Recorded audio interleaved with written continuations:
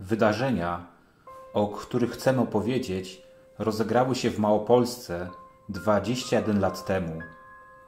W tym czasie udało się odkryć prawdę o tajemniczym zaginięciu radcy prawnego, osądzić podejrzanych, a część bohaterów tej historii zdążyła już odsiedzieć wyrok i wyjść na wolność. Ich imiona i nazwiska w tej opowieści zostały zmienione. Historia tej zbrodni wielokrotnie była przedstawiana w mediach, analizowana w internecie. Dziś chcę opowiedzieć ją z naszej perspektywy, pokazać, że brak śladów też może być śladem, że zmiany w obiektywnej rzeczywistości, jak dym wydobywający się z komina, mogą być cenną wskazówką dla śledczych i o tym, jak ślady na duszy pozwalają dotrzeć do prawdy.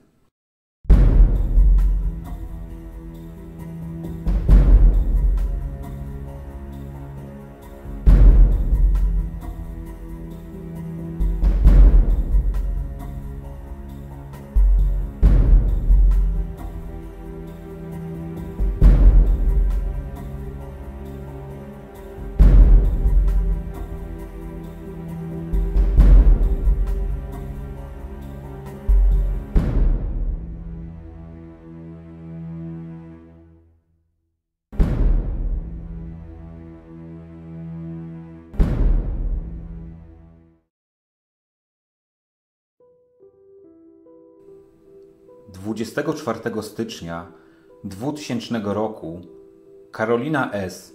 przychodzi do jednego z komisariatów. Chce zgłosić zaginięcie swego ojca Bernarda. To znany adwokat w jednym z miast w zachodniej Małopolsce. W zawiadomieniu o zaginięciu osoby dowiadujemy się, że Bernard S. 14 stycznia 2000 roku Opuścił swój dom około godziny 6 rano i miał udać się pociągiem do Warszawy. Jak zanotowano w dokumencie, przypuszczalnym powodem zaginięcia było nadciśnienie i arytmia serca. Córka nie znała dokładnych planów ojca. Nie wiedziała, z kim miał się spotkać. Od momentu wyjścia z domu nie kontaktował się z nią. Kim był Bernard S? W momencie zaginięcia Miał on 69 lat i był wdowcem. Mimo swojego wieku ciągle realizował się zawodowo. Był radcą prawnym, który miał swoją kancelarię. Typ pracocholika. Stronił od używek i prowadził intensywne życie towarzyskie. Był osobą zamożną i nie miał wrogów. Uwielbiał czytać książki, lubił również chodzić po górach. Mieszkał w domu razem ze swoją córką Karoliną S. i jej przyjaciółką Kingą C. Karolina S., jak wynika z wywiadu środowiskowego, miała trudności w nawiązywaniu nowych kontaktów. W opinii sąsiadów była osobą flegmatyczną, mającą problem w podejmowaniu samodzielnych decyzji oraz podatną na wpływy innych. Ich zdaniem miała problem z wyrażaniem emocji. Dziewczyna miała też brata, Ireneusza, ale ten nie mieszkał w domu rodzinnym.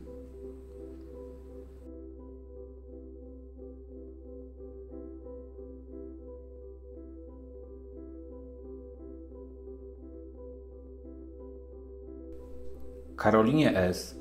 przy składaniu zawiadomienia o zaginięciu towarzyszyła jej przyjaciółka Kinga C. Z opowieści jej mamy rysuje się obraz dziewczyny, która nie sprawiała problemów wychowawczych, miała dobry kontakt z rodzicami i dobrze się uczyła. To właśnie podczas nauki w liceum Karolina i Kinga poznają się. Od tej pory ich drogi często będą się ze sobą przecinać. Z opowieści sąsiadów i kolegów wyłania się obraz Kingi jako osoby zdolnej, pewnej siebie i nieznoszącej sprzeciwu. Kinga C. znała zaginionego od 1981 roku. Mieszkała w jego domu, a także pracowała jako asystentka w jego kancelarii. O swoich relacjach z Bernardem S. tak mówiła kilka dni po zgłoszeniu. Na temat moich kontaktów z Bernardem S. mogę powiedzieć tylko tyle, że były one dobre, aż do chwili jego zaginięcia, które bardzo do chwili obecnej przeżywam. Pamiętam scenę, kiedy po wejściu na obiad Bernard S., widząc mnie i Karolinę przy stole, powiedział: Rodzina w komplecie.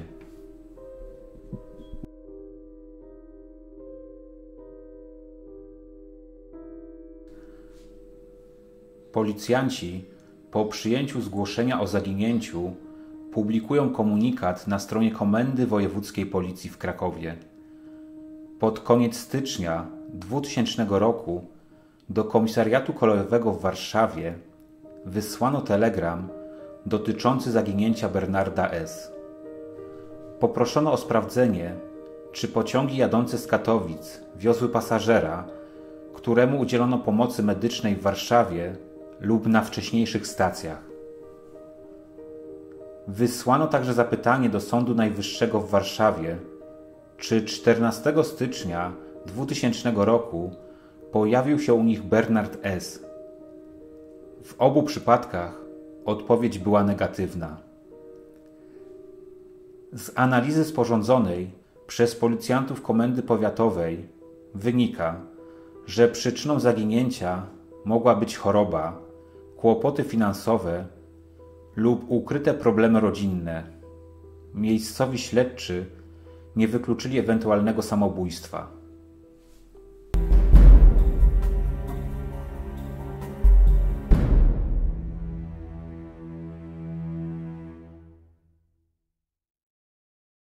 Te zaginięcia y, są tak za, za, bardzo jednoznacznie traktowane, że ktoś zgłosił, że zaginął, to znaczy, że zaginął. Praktycznie później nie jest to weryfikowane. Znaczy, oczywiście są weryfikowane mm, wersje zakładające, że na przykład, nie wiem, ktoś mm, stał się ofiarą wypadku drogowego, czy też zasłab, czy zachorował, czy trafił do szpitala. Są te wszystkie ośrodki sprawdzane. Natomiast no, nie ma takiej później zadumy nad wynikami. To jeżeli właściwie wszystko się sprawdziło i dalej tego człowieka nie ma, no to co się mogło stać, prawda? Czy to tak naprawdę można traktować tylko jako zaginięcie osoby, czy, czy też trzeba zobaczyć na tą sprawę tak głębiej i nie szukać innej wersji zakładającej na przykład właśnie zabójstwo czy, czy jakąś śmierć tej osoby. Zresztą nie uczono kiedyś w szkole oficerskiej, że w, tak, w tego typu sprawach, gdy nie wiadomo tak naprawdę co się stało, zakładać te wersje bardziej, te takie bardziej krytyczne, te, te takie ostrzejsze, bym powiedział, gatunkowe wersje, czyli zakładać, wychodzić od momentu zabójstwa. Taki, z tego co wiem, taki swego czasu za milicji obywatelskiej wręcz było zalecane właśnie, że w każdej sprawie dotyczącej zaginięcia osoby były wszczynane postępowania. Niestety to szybko umarło. Czy to ma sens? Ja Ci powiem, że na kanwie właśnie tej sprawy do końca nie ma, bo tutaj ja wielokrotnie powoływałem się na synchroniczność, czyli tą siłę, która jest ponad związkami przyczynowo-skutkowymi i tutaj odkryłem właśnie te ślady synchroniczności te, te, ślady synchroniczności czasami się ukrywają pod błędem ludzkim, ale one się okazują zbawienne dla rozstrzygnięcia danej sprawy. Wracając tutaj do, do wypowiedzi Bogdana, można powiedzieć tak, że po zgłoszeniu zaginięcia były wykonywane czynności, bo miejscowa policja dokonywała sprawdzeń takich typowych związanych z tą informacją, że, że ta osoba miała wyjechać służbowo do innego miasta, były sprawdzane.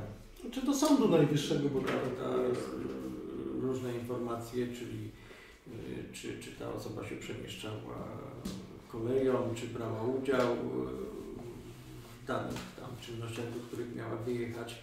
I niestety te, te, ustalenia były negatywne, czyli nie wniosły nic do sprawy i tutaj w tym momencie no, powinna włączyć się taka czerwona lampka, że yy, coś jest nie tak, prawda, że, że wszystko idące w tym kierunku daje wynik negatywny, a osoby dalej nie ma, prawda, czyli, czyli zniknęła. No, nikt, nikt, nikt nie znika, nie rozpływa się, prawda, w naszej rzeczywistości, yy, zwłaszcza, że, że, że to już są takie czasy, że osoba taka nie mogła, biorąc pod uwagę jej zawód, wiek, nagle sobie coś wymyśleć i, nie wiem, uciec nie wiadomo dokąd i gdzie, prawda?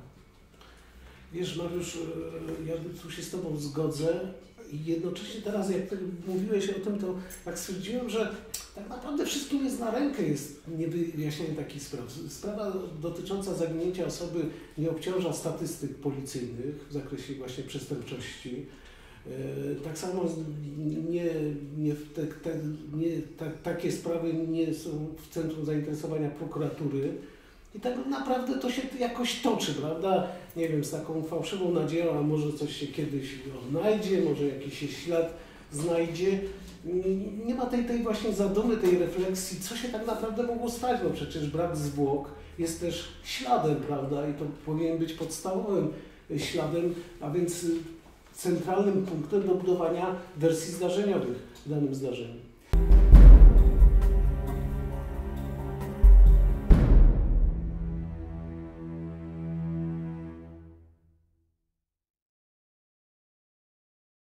Tymczasem 3 marca, niecałe trzy miesiące po zaginięciu, do jednego ze śląskich komisariatów przychodzi Ireneusz S., syn Bernarda.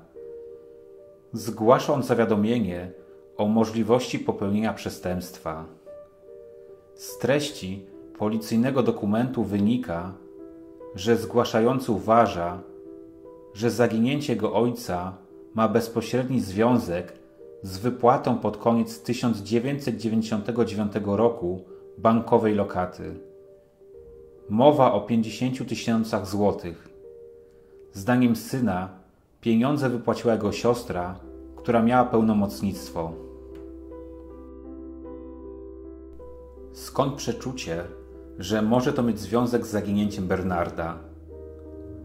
Syn Ireneusza nie potrafi tego sprecyzować. Twierdzi, że to kwestia przeczucia i jego ojciec został okradziony albo zmuszony do likwidacji bankowej lokaty. Syn twierdził również, że jego tata nie miał problemów finansowych ani nie planował żadnej inwestycji, która uzasadniałaby wypłatę 50 tysięcy złotych. Relacja między siostrą a bratem od lat była nie najlepsza. Oboje nie utrzymywali ze sobą kontaktu. Dwa tygodnie po zgłoszeniu brata policjanci przesłuchują Karolinę S., która potwierdziła fakt pobrania pieniędzy z banku. Kobieta twierdziła, że uczyniła to na polecenie swego taty, a pieniądze zostały mu przekazane.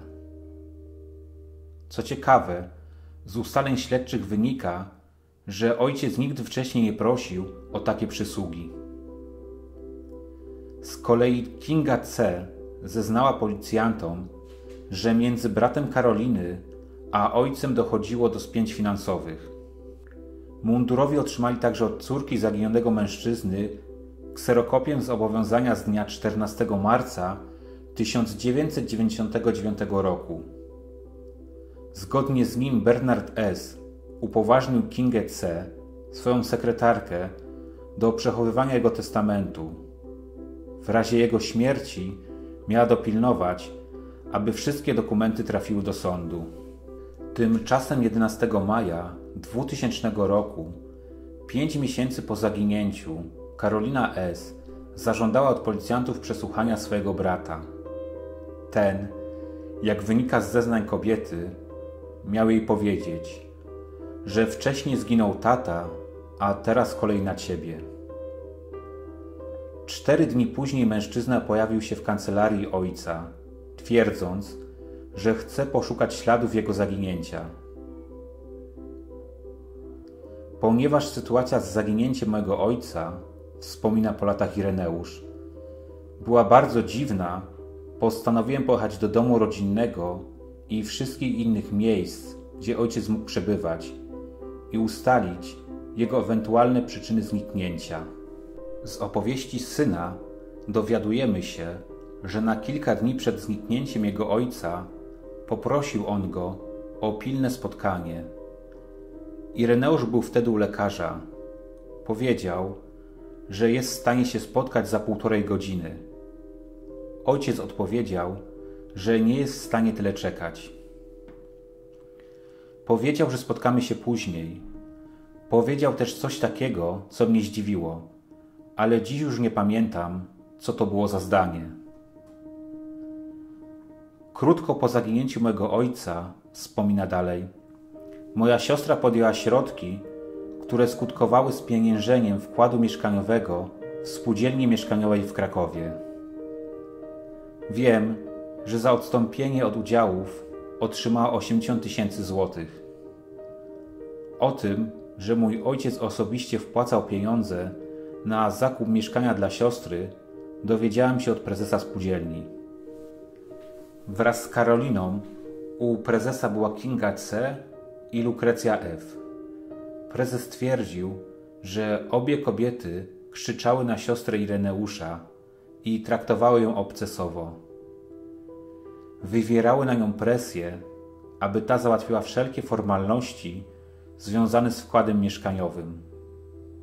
Kim była wspomniana Lukrecja F? To koleżanka Kingi C z czasów studenckich. Lukrecja F sporo podróżowała do krajów arabskich. W 1996 roku odezwała się do Kingi C. Wkrótce willa Bernarda S.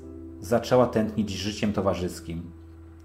Uczestniczyli w nim, oprócz gospodarza, także Lukrecja i jej partnerzy, którzy często się zmieniali. Lukrecja miała ogromny wpływ na Karolinę i Kingem. Tymczasem Ireneusz, który dowiedział się od prezesa spółdzielni, tymczasem Ireneusz, który dowiedział się od prezesa spółdzielni o zajściu, postanowił skierować wniosek do sądu o ubezwłasnowolnienie siostry. Bał się, że pod wpływem Lukrecji i Kingi ta spienięży cały majątek rodzinny. Sąd odrzucił ten wniosek. Dlatego Ireneusz zdecydował się złożyć zawiadomienie o możliwości popełnienia przestępstwa na szkodę jego siostry. Podpowiedziała mu to jedna z policjantek. Chciałem odseparować siostrę od tych dwóch kobiet, wspomina po latach. Jednak zamiast tego Ireneusz sam otrzymał pozew o zniesławienie. Ten skierowała jego siostra, najprawdopodobniej pod wpływem Lukrecji. Ostatecznie doszło do sądowej ugody. Od tamtej pory Ireneusz przestał się angażować w poszukiwanie prawdy o losach swojego ojca. Jak sam przyznaje, zwątpił wtedy w wymiar sprawiedliwości.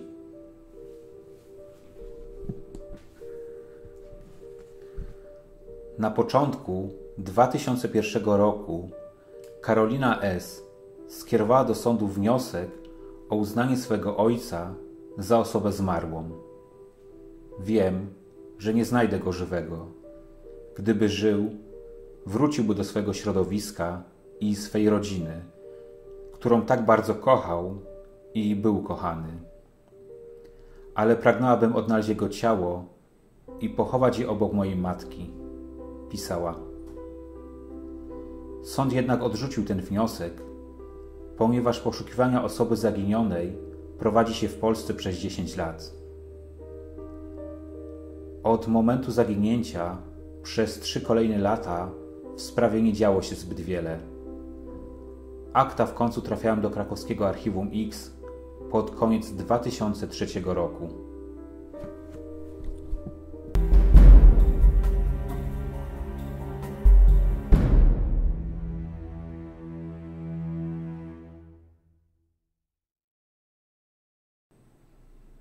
Zanim policjanci z krakowskiego archiwum X przystąpili do szczegółowej analizy dokumentów, w oczy rzuciła im się jedna z notatek.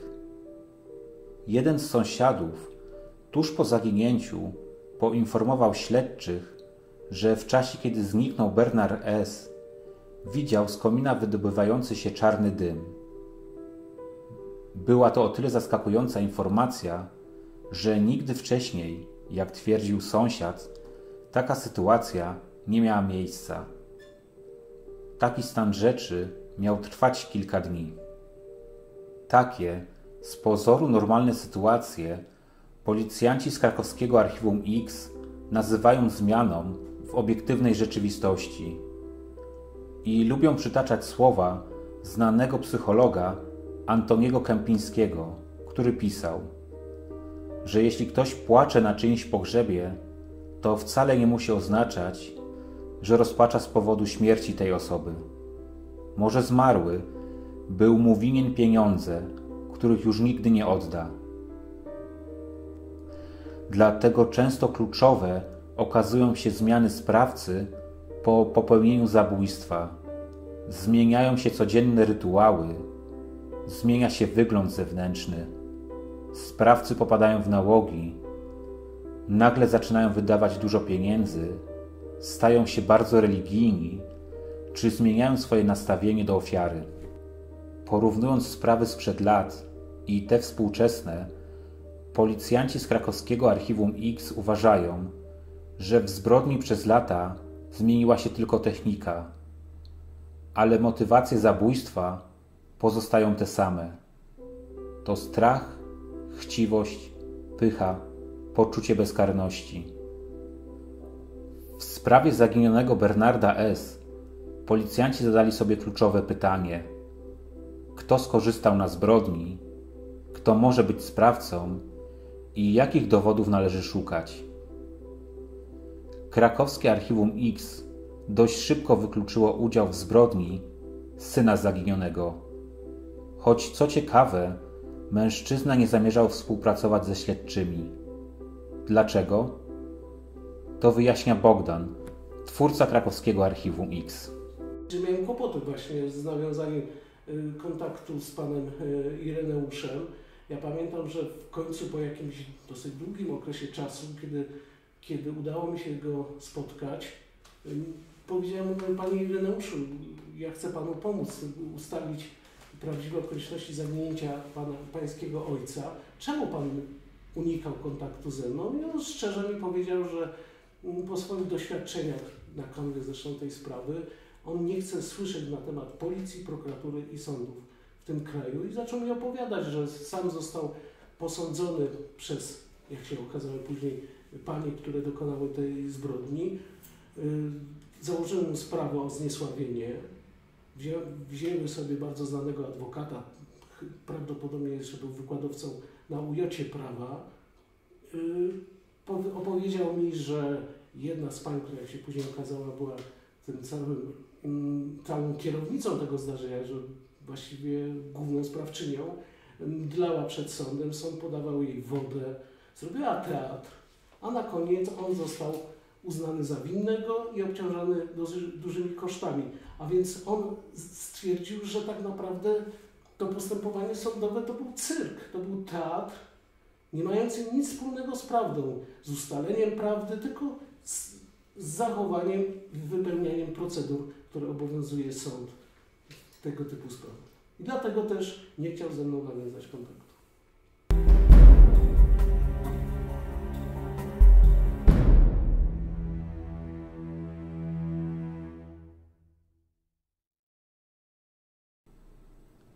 Ireneusz stał się ofiarą czegoś, co śledczy z Krakowa nazywają roztaczaniem iluzji.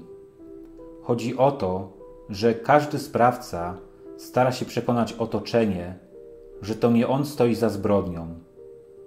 Stąd podrzucanie fałszywych tropów czy kierowanie uwagi śledczych w innym kierunku. Tymczasem kilkanaście tygodni po tym, jak akta trafiły do krakowskiego archiwum X, śledczy przygotowali analizę tego, co miało się wydarzyć z radcą prawnym cztery lata wcześniej. Stwierdzili oni, że Bernard S. nie żyje i że został zamordowany. Śledczy, jak można przeczytać w dokumencie, skupili się na kilku zdarzeniach związanych z finansami. Chodzi o wspomnianą już wcześniej lokatę bankową oraz wycofanie wkładu pieniężnego na mieszkanie. Funkcjonariusze z krakowskiego archiwum X ustalili również, że Karolina S. od 12 do 17 stycznia przebywała na zwolnieniu lekarskim. Śledczy uznali także, że za zabójstwem mężczyzny stoi jego córka oraz najprawdopodobniej Kinga C.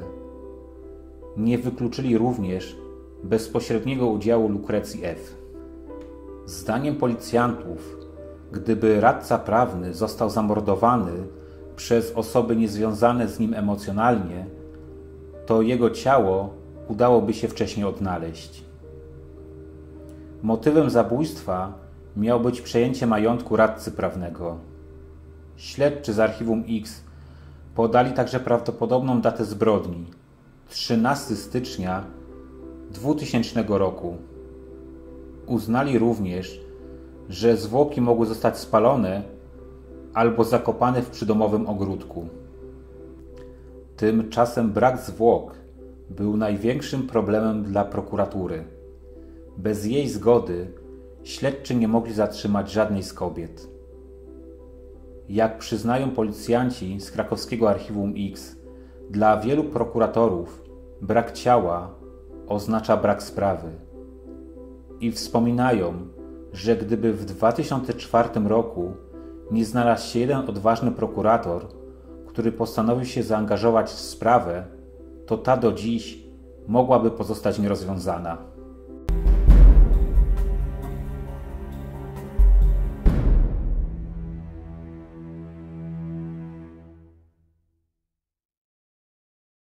Dla nas podstawowym, dla mnie taką filozofią myślenia zespołu Archiwum X jest stwierdzenie, że brak śladu to też jest ślad. To jest stara zasada y, detektywistyczna, która w dzisiejszych czasach no, jak gdyby poszła w zapomnienie, jak gdyby nie, no, tej regule się w ogóle nie daje jakiegoś znaczenia. Trzeba dotknąć, zmierzyć, powąchać, żeby uwierzyć, że coś faktycznie zaistniało. To ja zapytam Was inaczej, panowie.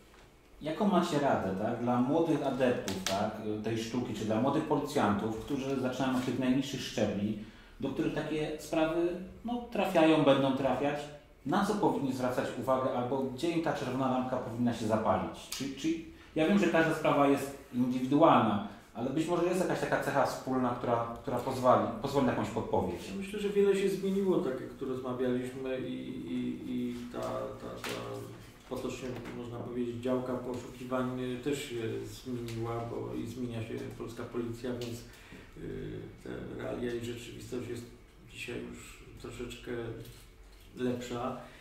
I myślę, że nawet na podstawie tych spraw, które zostały przez nas zrealizowane i które znalazły finał, y, ci policjanci mają, są już jak gdyby no, w lepszym punkcie, prawda?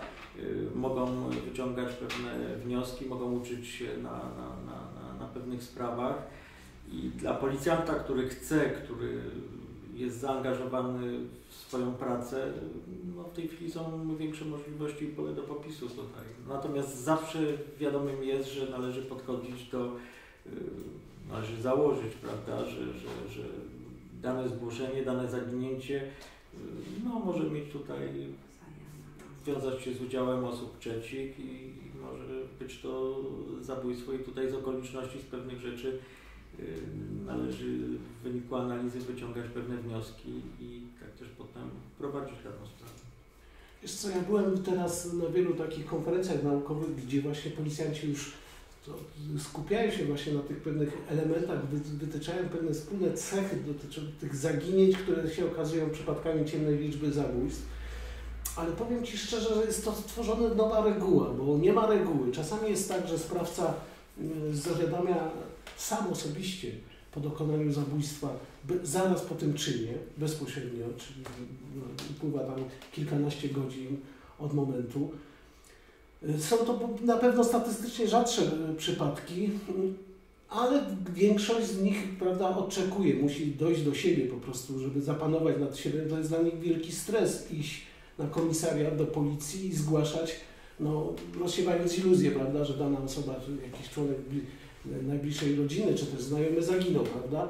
Zazwyczaj, zazwyczaj jest regułą, że jednak te, od momentu zaginięcia do, do momentu właśnie zgłoszenia oficjalnego upływa dosyć stosunkowo długi okres czasu, ale tak jak powtarzam, nie ma w tym zakresie reguły, bo spotkałem się też z takimi przypadkami, że zaraz bezpośrednio praktycznie po zabójstwie sprawca zawiadamiał. Oczywiście to, mm, to bardziej sugeruje, że już to taka zbrodnia była planowana, prawda, że, że tam wszystko było rozpisane i, i, i, i, i nawet moment dotyczący właśnie wizyty na policji celem zgłoszenia zawiadomienia. Jedną bym regułę tylko stwierdzić, szukajcie prawdy, szukajcie prawdy, kierujcie się intuicją, a przede wszystkim takim ludzkim, realnym spojrzeniem. Wczuwajcie się w rolę tej osoby zaginionej. Czy ty na przykład, nie wiem, no, upłynął rok czasu, bez ubrań dodatkowych, bez wyciągania pieniędzy z konta przeżyjesz?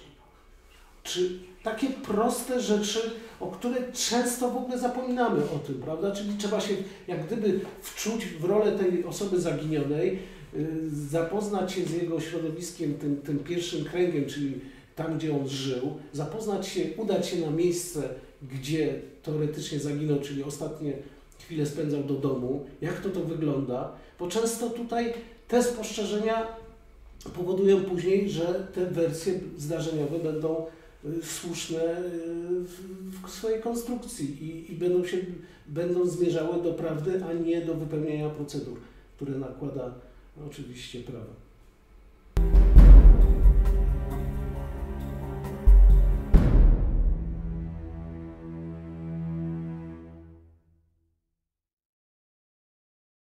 5 lutego 2004 roku Karolina S.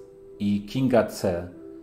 przyniosły na komendę powiatową anonimowy list, portfel i wizytówkę oraz sześć zdjęć członków rodziny zaginionego Bernarda S. Miały go otrzymać od anonimowego nadawcy. List był napisany na maszynie do pisania. Wynikało, że został on napisany przez świadka, który widział dziwne zdarzenie. Z dokumentu wynikało, że 15 stycznia 2000 roku wybrał się nad Wisłę w Krakowie. Chciał utopić w rzece szczeniaki. Jednak miał on zobaczyć nad Wisłą samochód i dwóch mężczyzn, którzy wyciągnęli z bagażnika czarny worek. Zdaniem piszącego wyglądało to na zwłoki a anonimowy nadawca udał się później w miejsce, gdzie zobaczył mężczyzn. Tam miał znaleźć portfel Bernarda S.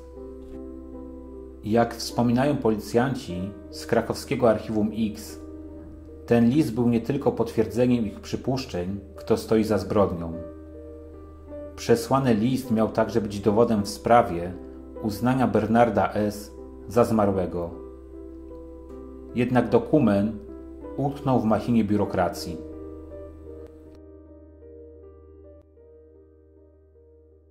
Czyli pani zgubiła chciwość, krótko mówiąc, i rzeczywiście to był najważniejszy element e, analizy tego przypadku zaginięcia. Pamiętam, że z, mieliśmy Mariusz kłopoty z, uzys z uzyskaniem tego dokumentu, żeby nad nim się pochylić, a przede wszystkim mm, sprawdzić go kryminalistycznie, czy nie są naniesione na na, na koperty jakieś właśnie ślady w postaci śladów linii papilarnych, czy też śladów DNA. Pamiętam, że policja nie bardzo wiedziała, co zrobić z tym uzyskanym takim listem od anonimowego od anonimowej osoby i przekazała ten list miejscowej prokuraturze. Miejscowa prokuratura stwierdziła, że mowa jest e, cały czas w liście, że ten człowiek widział to wszystko na terenie Krakowa, więc po jakimś okresie czasu przesłała ten list do prokuratury w Krakowie. Prokuratura w Krakowie nie bardzo też wiedziała, co zrobić z tym listem, więc wysłała ten list do Komendy Miejskiej Policji w Krakowie. Komenda Miejska Policji w Krakowie też za bardzo po jakimś okresie czasu nie bardzo wiedziała, co zrobić z tym listem i przesłała go do miejscowy komisariat. I tak w końcu, że po jakimś dłuższym okresie czasu wreszcie udało nam się go namierzyć, gdzie on może być przechowywany.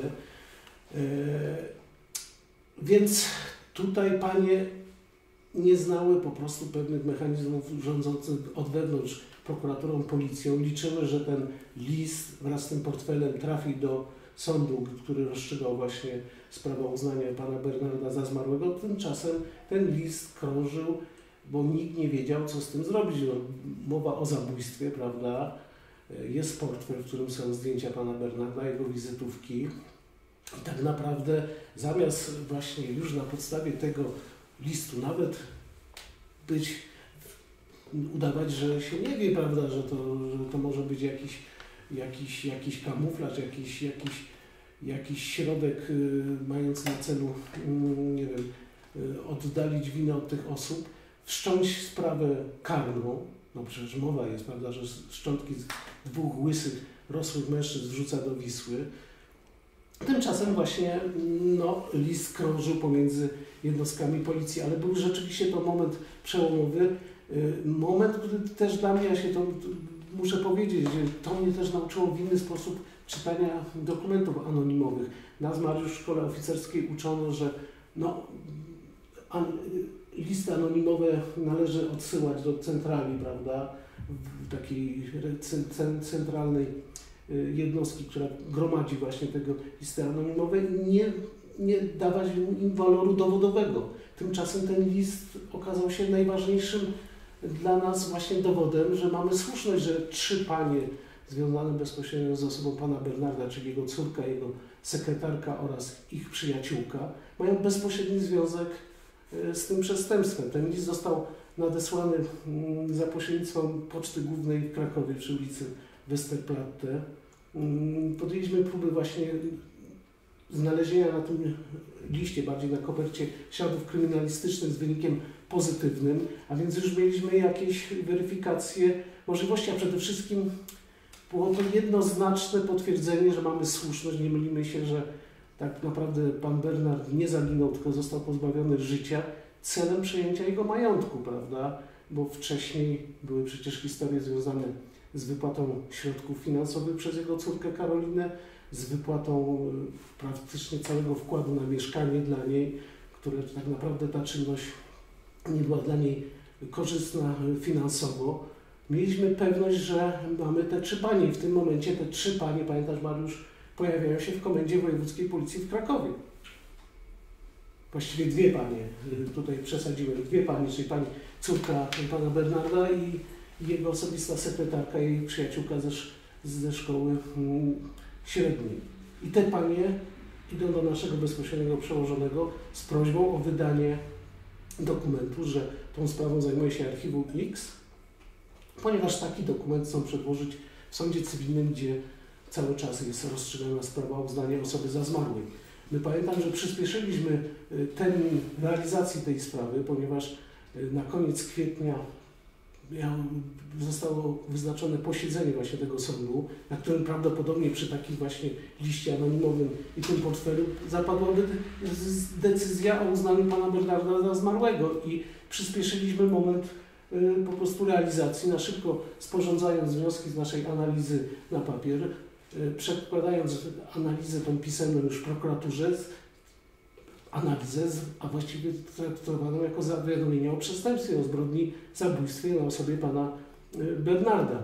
Co ciekawe, ja później rozmawiałem z jedną z pań, y, którą, z panią Kingą, która okazała się też sprawczynią tego, tej makabrycznej zbrodni, ona czytając, zaznając się z materiałem dowodowym w tej sprawie, w ogóle nie czytała tych tomów, gdzie były te poszukiwania yy, tożsamości tego kadłuba, prawda, czyli tych relacji, yy, relacji osób zaginionych, po prostu po, po wybieraniu materiałów DNA, tylko stwierdziła, że jedna notatka analityczna załatwiły całą ich intrygę.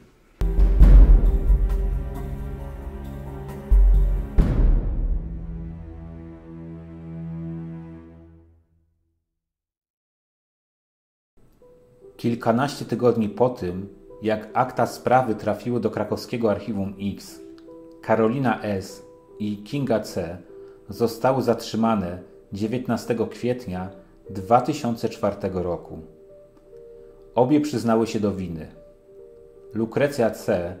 została zatrzymana w sierpniu 2004 roku na lotnisku. Nie przyznała się do winy.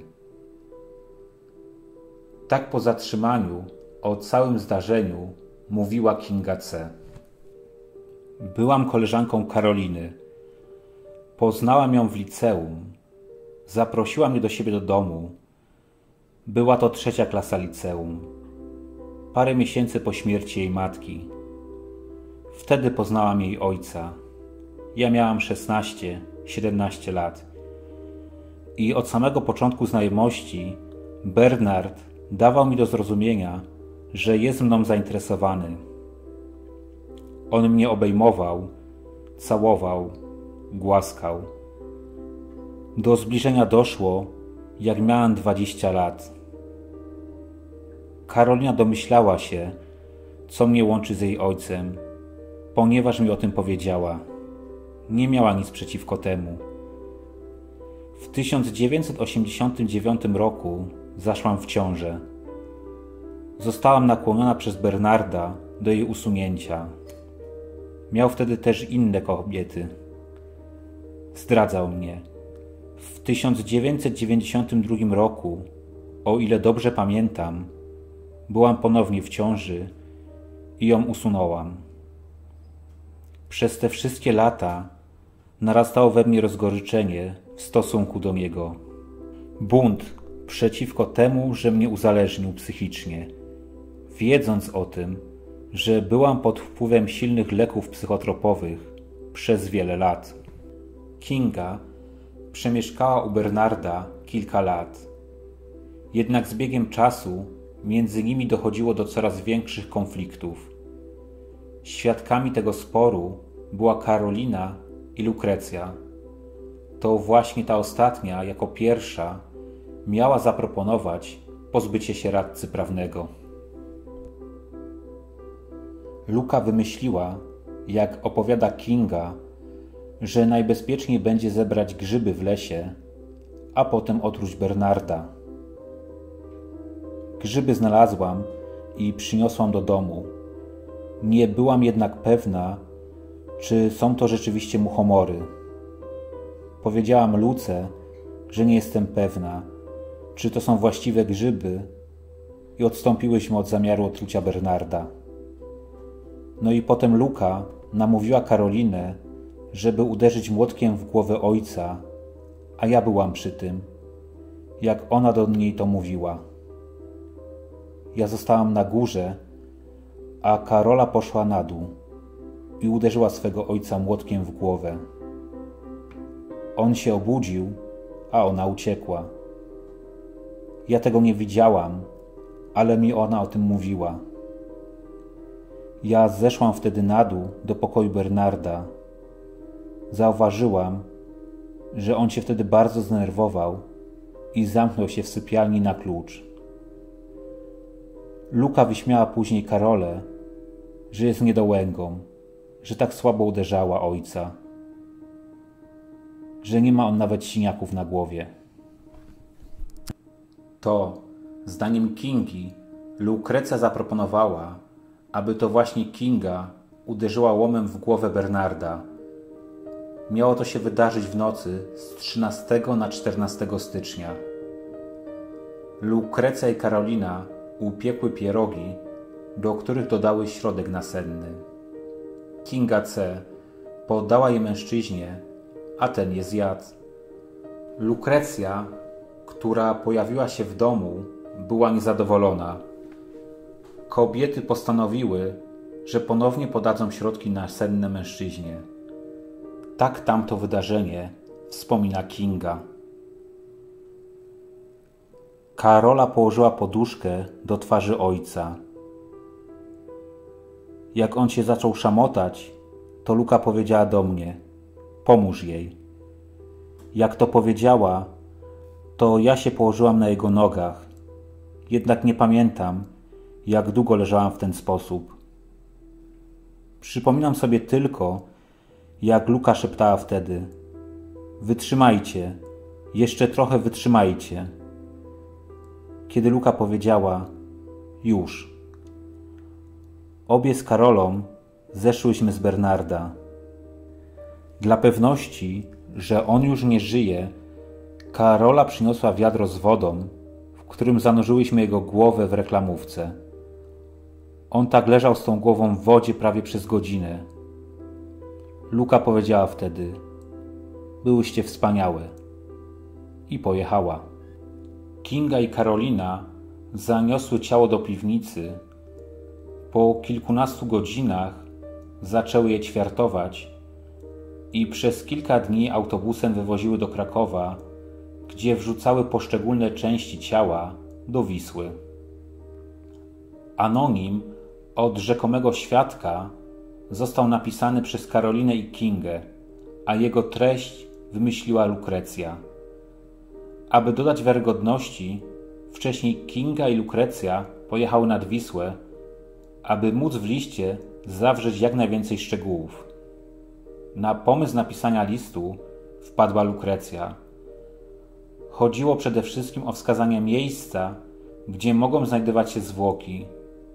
To miało pozwolić na uznanie Bernarda S. za zmarłego i przejęcie jego majątku. Co ciekawe, zwłoki Bernarda zostały wyłowione z Wisły o wiele wcześniej. Biegli określili ich wiek na 40-50 lat. Dlatego nikt nie identyfikował ich z zaginionym Bernardem S., który miał 69 lat.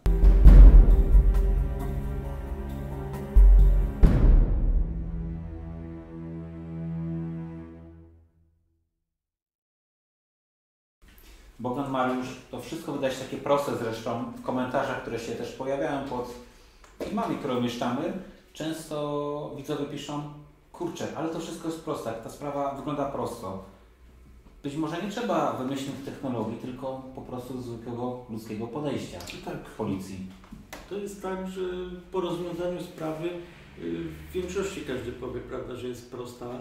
Y, nie jest to tak do końca, bo, bo te sprawy jednak y, prowadzone były w sposób analiza tych akt, potem przygotowania, ustalenia, to jest masę pracy takiej typowo i przy aktach, przy dokumentach typowo gdzieś tam operacyjnej, policyjnej, także to nie jest takie proste.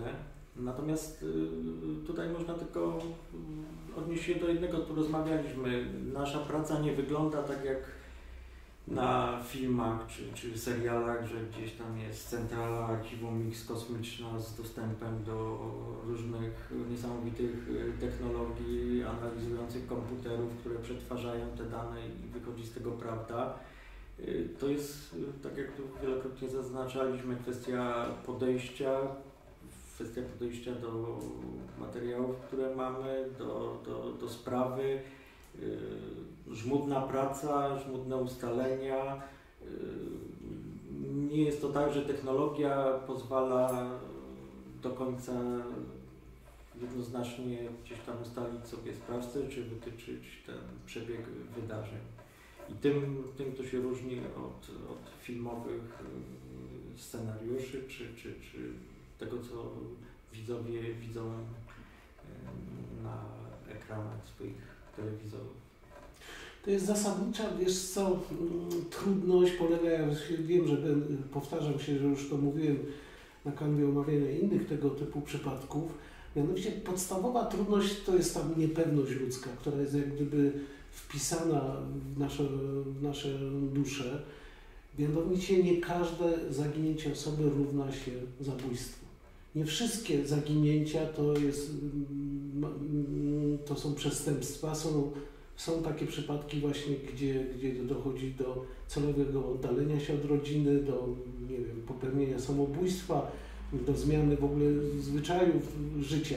Ale żeby takie wersje budować, no trzeba mieć jakiś materiał dowodowy, trzeba czuć się właśnie e, w rolę tej osoby zaginionej, w jakim on środowisku żył, określić jego rytm życia. To jest podstawowa zasada, podstawowy taki algorytm, który później będzie służył właśnie wyciąganiu właściwych wniosków co do losów osoby zaginionej.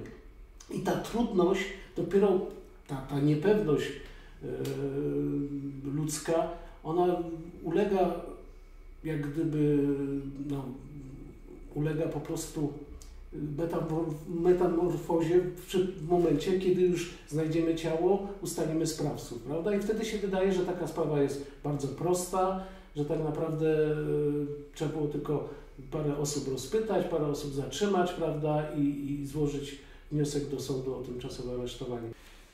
Panowie, w tej sprawie również było dużo takiego, jak Wy to mówicie, roztaczania iluzji. To też w jakiś sposób miało wpływ na to, że to śledztwo trwało tak długo? Słuchaj, na pewno, wiesz co, y, taką pierwszą iluzją, na którą ja napotkałem w tej sprawie, to w momencie już zgłoszenia zawiadomienia o zaginięciu pana Bernarda, w rubryce przyczyna zaginięcia pojawiło się arytmia serca i nadciśnienie. A więc jak gdyby wskazanie, że to, że to zaginięcie ma związane z wiekiem i z chorobami osoby zaginionej. To jest pierwszy element. Owszem, tak mogło być, prawda, ale, ale z tego co pamiętam, nikt tego nie zweryfikował, czy tak naprawdę pan Bernard na to cierpiał, a nawet jeżeli cierpiał, to czy, czy rzeczywiście no w takim przypadku właśnie zdrowotnym no te zwłoki gdzieś powinny być, prawda, jeżeli ktoś nagle zasłabnie, nagle straci przytomność, no jednak no, ktoś zawsze zgłosi, przyjedzie pogotowie i, i, i jakieś informacja właśnie powinna być. I to jest pierwszy ten element iluzji właśnie y, przyczyna zaginięcia, prawda? Tutaj było wskazanie, że to jest przyczyny zdrowotne.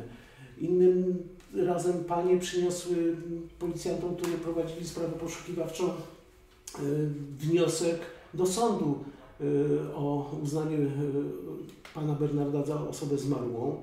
I tłumacząc to po prostu faktem, że mm, jego córka Karolina nie ma środków już do życia i pensja nie pozwala na, na opłacanie e, rachunków bieżących za prowadzenie gospodarstwa domowego.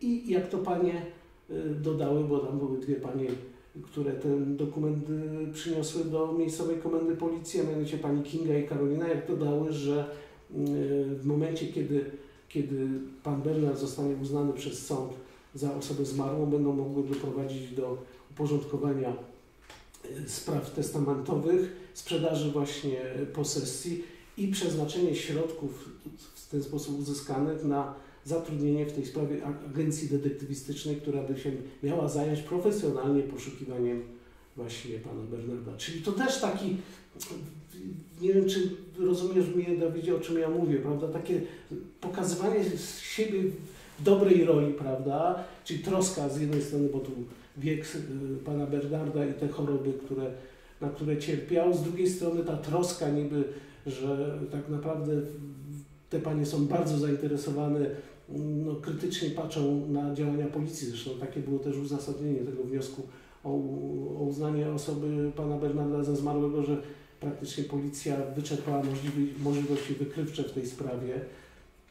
I na takie elementy trzeba zwracać uwagę. To jest taki właśnie element rozsiewania iluzji, będący jednocześnie e, śladem na duszy ludzkiej, wskazującym tak naprawdę, kto brał udział w danym zdarzeniu.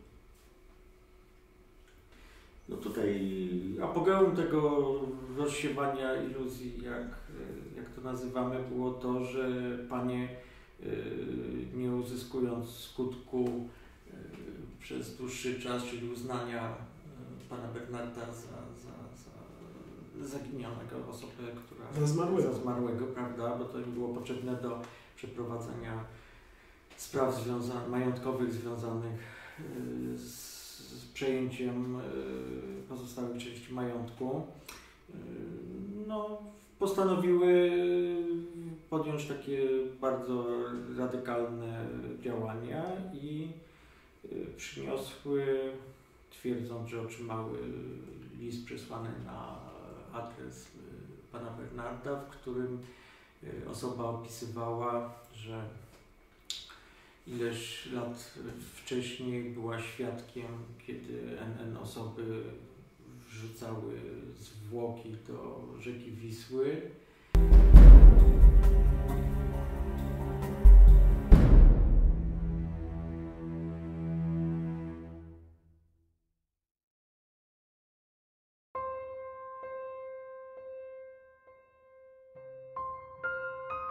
Jeszcze przed zatrzymaniem kobiet policjanci z krakowskiego archiwum X informowali przełożonych, że to początek serii zbrodni.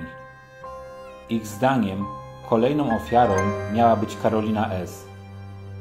Podczas rozprawy sądowej Kinga C. przyznała, że Lukrecja opowiedziała jej o planie pozbycia się córki zamordowanego Bernarda. Lukrecja chciała wykupić kobiecie polisę na życie a potem ją zlikwidować. Karolina i Kinga Po odsiedzeniu kilkunastu lat wyroku wyszły już na wolność. Lukrecja F. została skazana na karę dożywocia.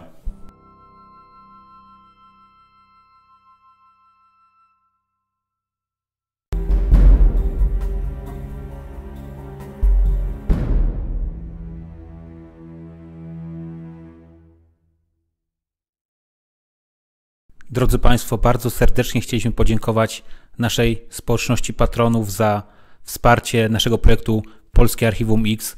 Bez Państwa zaangażowania, Państwa dobrego słowa, Państwa wsparcia tego projektu by po prostu nie było.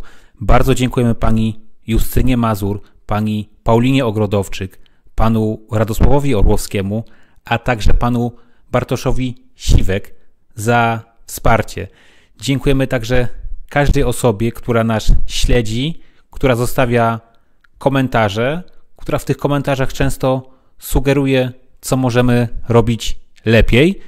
Za każde słowo, za każdy gest, każdą wpłatę bardzo, bardzo serdecznie Państwu dziękujemy.